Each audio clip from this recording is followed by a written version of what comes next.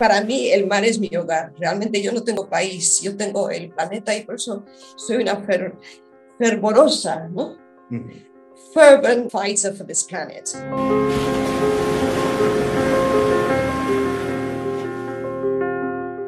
Yo desde los 15 años he sido piloto eh, marino, piloto naval en la Marina Mercante extranjera.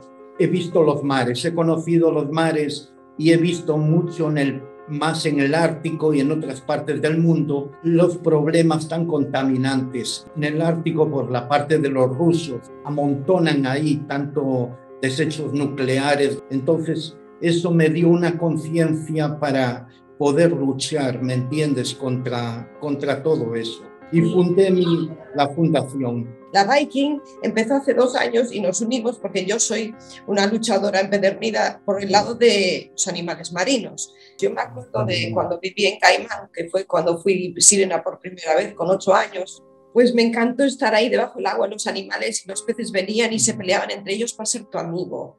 Hoy en día los peces se escapan estés donde estés. En Indonesia, en el 2017, grabé yo con mis propias cámaras cómo estaba la mejor playa. Era gris, como si fuera un caldo de plástico.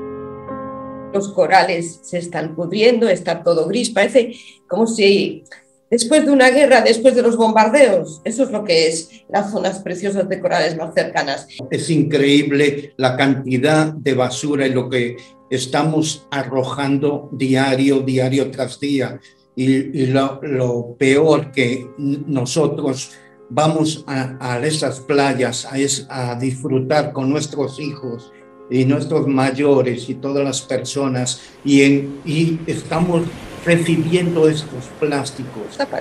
Es una forma de alertar a la humanidad para decir, mira, abrir los ojos porque las cosas no son así de simples. Hay que cuidar el planeta y hay que cuidar nuestro medio ambiente.